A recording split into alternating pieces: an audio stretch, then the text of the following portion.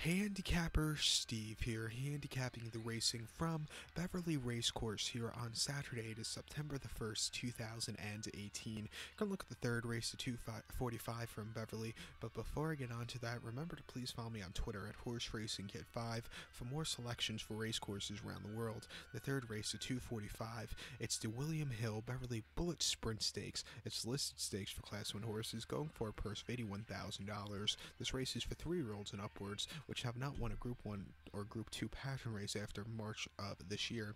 Field of 11 horses going 1,000 meters or 5 furlongs on the Beverley Lawn, the turf course. Top selection in this one, I like the two horse Final Venture. Going to go 259 in the TriCast of the trifecta. 259 TriCast Trifecta, top selection two horse Final Venture, six year old uh, gelding here by Equiano. Luke Morris is on this one for Paul Midgley. The horse's most recent outing came at the Ebor meeting at York last week, 22nd of August. Five furlongs, firm ground, Class 2 handicap. He ran very well there, finished second by a neck. Great ride by Oisin Murphy from mid pack. Just missed at the end, but he ran a good effort. I, I can't remember. I might have backed him last week, or I, I might have backed, um, or I might have fancied him a little bit. But um, you know, he, he ran very well there. Um, but um, I, I didn't back him last week. I'm just remembering now I didn't because uh, you know he ran a lot better than most of my other horses ran last week at in the Ebor meeting. But um, you know he, he, ran well other than that. But um, that uh, York race was his first race since 9th of June. That came at Haydock, five furlongs at a listed stakes. He finished sixth by three and a half lengths, and he just needed that extra kick. Um, you know it wasn't the day to win. And then again at York, 26th of May, five furlongs class two handicap. He loves York. He finished third by half length. You know even though he finished third, it was a really good race. Was, he ran just as good as the winner quickened up nicely on the front end, wasn't a bad race, and then his first off the break at York, six rungs to Class 2 handicap during uh, the May Festival. He finished fifth by seven quarter lengths. Hit the wall completely. Definitely need the race.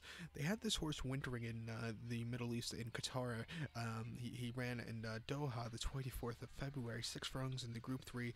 Um, Dukhan sprint.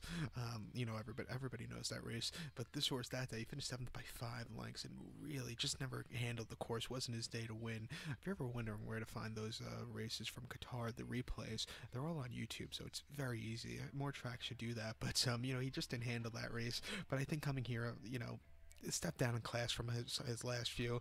I think he'll really run a big one, three to one you know, it's not the best price, but he could be, you know, one to two, eh, which is worse. But uh, uh, you know, I'll take him here. Uh, let's make some extra money with this TriCast and let's hit it. So here's my TriCast. Recap my selections for the third from Beverley, the 245. It's the Beverley Bullet Sprint. Gonna go with the two horse Final Venture. Gonna go 259 in the TriCast of the trifecta. So good luck to all. Please follow me on Twitter at Horse Racing Kid 5. Good luck, everybody.